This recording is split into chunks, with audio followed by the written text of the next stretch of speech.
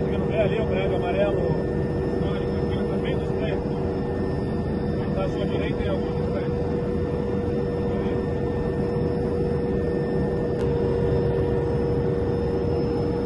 Aquele é o mercado municipal.